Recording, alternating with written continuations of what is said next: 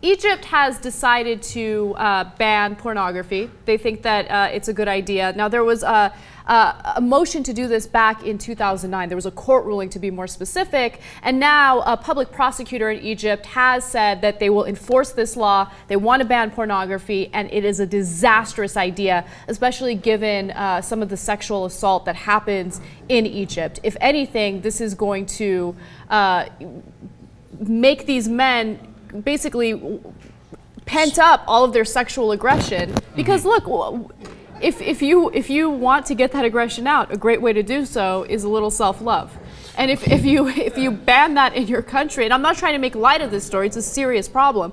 Um, if you're trying to solve that problem in your country banning porn isn't the way to do it. Yeah. We were hoping, of course, that there would be a little bit more freedom uh, uh, with the Egyptian revolution. We understood that the possibilities of the Muslim Brotherhood winning and hence Egypt getting more religious. Everybody understood that that was a real possibility, but as you see it unfold here, and, and it's not our choice, it's their democracy, they won, and, and that's, but if you don't like this, then you know how to, to vote the next time around. And, and perhaps there's some chance that young Egyptians might be swayed by things that might seem small, but in reality, of course, are not small because they also have to do with fundamental freedom right. as well as sexual issues. Right. Well, prior to Morsi getting elected, you know, he did make a lot of promises to extreme religious individuals in the country. Mm-hmm. And now that he has been elected, I think that they're looking for him to uh, basically follow follow through with his promises. Mm-hmm. And I think that this is a perfect example of that. And and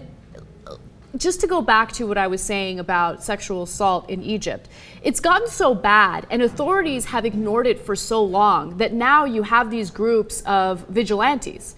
And what they do is they uh, patrol the streets, uh, and as soon as they see that uh, someone is you know, sexually assaulting a woman, touching her, groping her, even doing catcalls, uh, they will react to that immediately. They'll spray paint "I'm a harasser" on that individual, and wow. and they'll take matters into their own hand. Now, I don't know if this is the right solution to it. I think that trained professionals should be handling the situation, but the problem is they're not. Mm-hmm.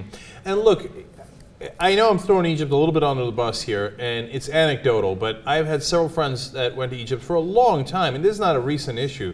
Uh, and they have been at least, at the very least, verbally harassed women uh, with constant catcalls and people following them. Because there's there's a couple of reasons why they do that. One, they have this absurd image that Western women are so loose that if you just go up to them and you're like, "Hey, baby, can I grope you?" that they're going to be into it, which is insanity, okay?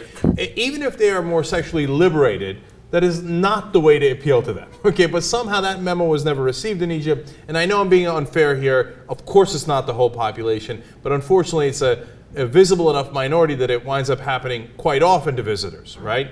And then the second problem is that you've suppressed all these urges, as Ana was saying in the beginning, you know, you know, Islam and no, the porn is bad, sex is bad, premarital sex is bad, and so that it is uh, released in unhealthy ways. Mm-hmm, mm-hmm. And so instead of having a normal relationship and going out with girls and understanding how that works, you've got guys who are like, hey, baby, oh yeah, I'm gonna do this and this to you. No, you're not, okay? And so this latest action goes in the wrong direction. It doesn't really help the situation. Right. Suppression for all those decades obviously didn't really work.